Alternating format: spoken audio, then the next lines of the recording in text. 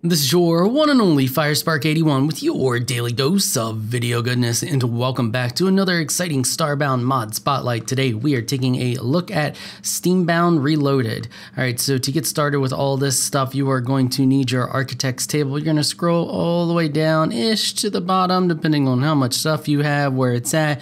But uh, it's this set of items right here, this uh, pipe set, steampunk, whatever you want to call it. You got the pipe inlet, the pump, the quarry, the router, the spout, and the terminal. Now, beyond that, you are also going to need the uh, heavy pipe. So you just come on over here to your industrial workbench and type in heavy and it's right here. It's going to cost you one copper for 20. It uses this to see your network. So you need, a, well, a good chunk of it depending on how big you want your network to be. So what you do is you lay your pipe in the background and then you put your uh, stuff, your containers, whatever you want, any, basically anything that has an inventory in front of the pipe and it the network sees it. If you look here, if I click this router, you can see that it shows you where the pipe is run and it shows you everything that is connected to that inventory. We'll get into the routers here in just a moment. So first thing for a basic inventory, you're gonna want the pipe inlet, you're gonna want the terminal, and any kind of storage. Now, what this will do is the inlet will eject whatever you put into it into the system here. So you can see it just threw it out and put it in this chest right here. So we're going to create a just a basic one. I have a bunch of filters and stuff set up on that one. So we're just going to go up here and I'm going to create a very basic one real quick just to show you. So we run the pipe up like that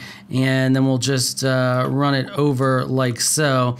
And actually let's run it out this way so we can put multiple chests connected to it.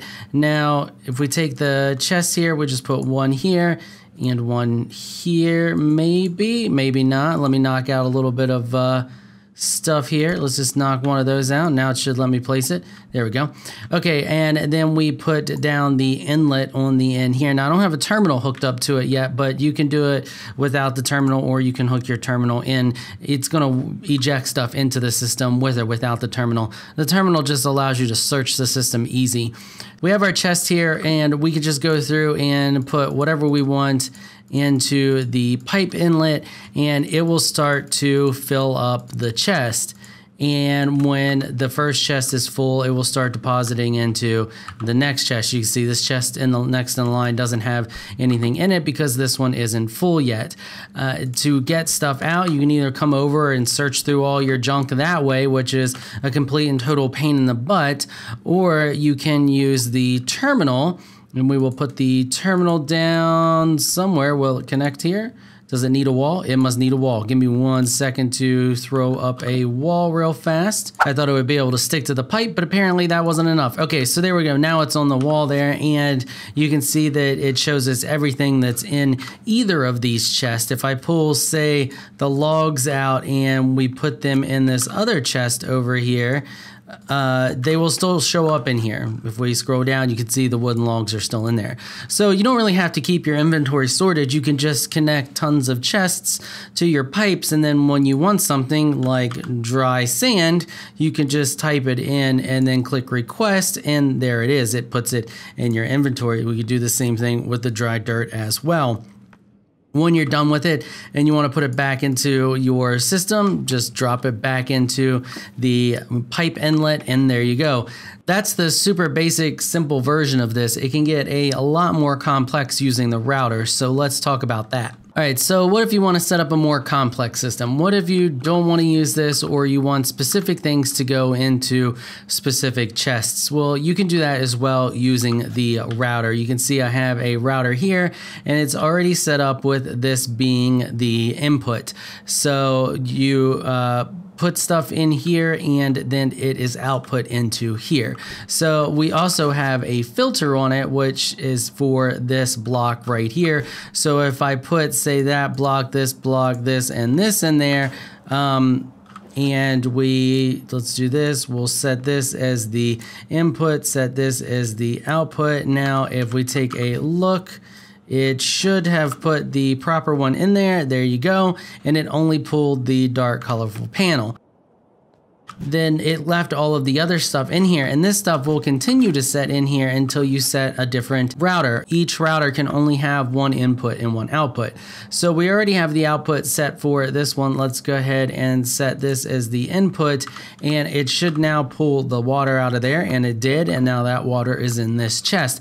Now the cool thing about this is, is you can use the terminal to see anything anything that is connected to this system whether it's been pumped through your uh, input locker or chest or whatever you want to call it into the whole system or not. Stuff usually won't won't stay in this this inlet. This thing will always try to find some place to put stuff. So if you you have a lot better chance and a lot more control using another chest. I was testing this and I mean it'll find a place. it'll find some place to store something if it can in your network. Um, so if you want a lot of control, you, your best bet is just to use uh, some type of uh, chest is your input. I'm using this little flat wall locker. Uh, so um, you also have the input and output slots, and I'll demonstrate what those do. So we're going to take that there, and we'll take this out, and we'll clear this filter. So you just to set a filter, you just drop the item in there, and um, you can see you can have up to five filters. You can also invert that filter. So if we place that in there and we click invert, it won't take the filtered items. And then we uncheck that, it only takes the filtered items. All right, so let's talk about the input slot. So I have the system set up here. So the, this is our input and this chest. So this is our input, this chest here is our output. I have it set to output to slot 4 and input from slot 1. There is no filter, so it doesn't matter what I put in here. We can just go through and put in whatever we want and you can see that once slot 4 is filled, it stops pulling. So it'll only pull from this slot. So watch, if we take this out, it's going to replace it with that. But nothing over here shifts so nothing else gets pulled. So that you can also set up uh, systems that way as well, uh, besides using the filtering. If you don't put the filtering, nothing, it'll pull anything that it wants. It won't filter anything. But you can use the input and output slots, however, to tell it what slots you want it to pull from and where you want it to put stuff uh, that it is pulled from that slot. So we can actually change that. So our output slot is still four, our input slot's one. Let's change, let's remove that. And if we put two and add it, it should pull from the second slot and it did. And now that should be over here in slot four. So, and as far as I know, it corresponds with which one's uh, across from it. So, um, for example, if we put slot one here, goes into slot one here, and we put something in there, let's just put that and now, yeah, you can see that we have slot one right here. Let's make it something easily distinguishable. So the log and we pull it out, it goes into slot one here. So whatever one you have uh, directly across from it is the one it corresponds with. Okay, and next up we have the uh, output or the yeah, it's called the what is that thing called? The spout. That's the word I'm looking for. We have the spout. What the spout does is it uh, drops liquid into the world. So and then on top of that here I, I have the pump. What that does is it pumps liquids into the system, and I have a setup here where it one of the routers is I have two routers connected. I have one that uses this as an input, and then I have one that uses this, the, the pump is an input, just so I could add liquid into the system uh, if I want, or it'll just basically create a shower. Uh, you can turn connect stuff to these to turn them on and off. I have the pump turned off right now, but if we turn it on, what happens is is this pump sucks up water and or the healing water, and then the uh, out was it the spout? I keep wanting to call it the outlet. The spout drops the water back into the world. Now, the uh, pump does run on fuel, so you have to put coal in there to fuel it. So, yeah, it does have a cost to it. I kind of don't like that about it. I, I mean, I get that it shouldn't be for free, but the uh, just coal seems to be hard to find at times. I don't know. I don't know. It's it's okay. It's neat for really neat for what it does, and it's very handy for pumping liquids. I mean that that right there alone is amazing for automating stuff. And as you see, we can create you know a healing shower or you know whatever you want to do with it. So we're gonna turn that back off.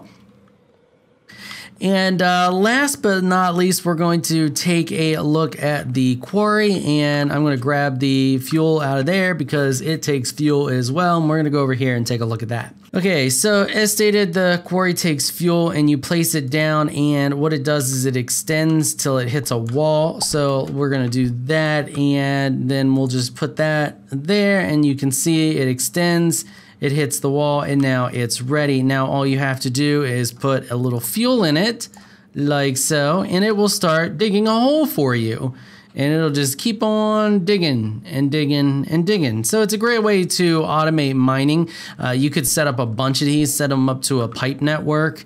Uh, it's going to go pretty far and uh, probably unload eventually. So you kind of got to stick close to them. But I mean, you could AFK and and let it do its thing and then pipe these into chests relatively easy if I just throw where are my chests at throw a chest up here and there like so. And then we grab some piping and oh falling in the hole. Uh, we just get rid of that.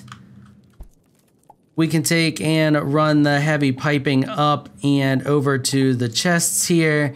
And then if you want you can just stick a router on it and then activate your router. Tell your router that this is the input. The chest here is the output. And if you wanted to another one on this chest you'd have to set up another router. But there you can see that it's pulling. Now notice it pulled the coal. So to get rid of that problem so it doesn't pull your fuel out you would set up a filter. So you would put one coal in here like that and do the do not take the filtered items and then you can put it back in there into the fuel slot and you don't have to worry about your router pulling it out. So that's a perfect uh, example of how to use the the don't take items you could also tell it to, um, I don't know if this is slot one. You would have to test it. I haven't tested it because it's easier just to do the, the the filter. But you could tell it to pull from say slot one, and and it would do that. It would just always pull from the first slot here, so it would pull as fast as this thing can mine. Um, you can also extend this. So if we pull the fuel out, and what we'll do is we'll just do that, and you can see and now that's gonna mess up your your. Oh no! Hey, it still knows that it's there. How about that? I figured that would mess up the the router. Where's our fuel? Drop our fuel back in there and then wait patiently. So you can see it's going pretty far. Um, actually, I want to see how far it'll go. So that's the length of it there. That's the full length it'll go if it doesn't hit a wall. And then it'll just start to dig for you. That's a pretty decent sized quarry for it to dig. And it's kind of slow, but you know, you don't have to do it. So there's that. And it'll mine out this whole chunk down here for you. You can see it was already going pretty far and uh, yeah and you can also use it to dig really tiny holes if you wanted to as well and if we place it back down like so, and we throw the coal back in there. Yeah, you can see it's gonna go much quicker this way because it doesn't have as far to go, but and it's but it's only gonna dig two blocks down. So just just an idea, just to show you what it can do and uh, some of the possibilities that you can do with it. So uh, yeah, I think I think I covered everything. Let's run back over here and just double check. So we got the the terminal was covered. The inlet was covered. You know you need to use the heavy pipe. We covered the router.